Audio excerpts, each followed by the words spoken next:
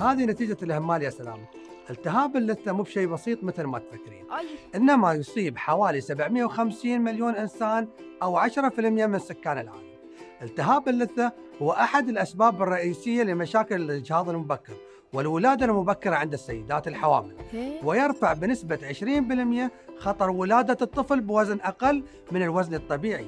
والمرضى اللي عندهم مشاكل بالقلب أو الأغشية. القلبية نسبة إصابتهم تزيد 32% في حال وجود التهابات مزمنة أو حادة باللثة. هيك إذا كان عندك هالمشكلة يا سلامة أنصحك تراجعين أخصائي في أمراض اللثة لتفادي العواقب هيك أما على صعيد الوقاية فممكن نتناول العصائر الطبيعية اللي تحتوي على الفيتامين سي مثل البرتقال والكيوي ونعتاد على وجود الخضار والسلطات في غذائنا اليومي هيك وأكيد الابتعاد عن الوجبات السريعة والأكل الجاف مثل البيتزا والمعجنات.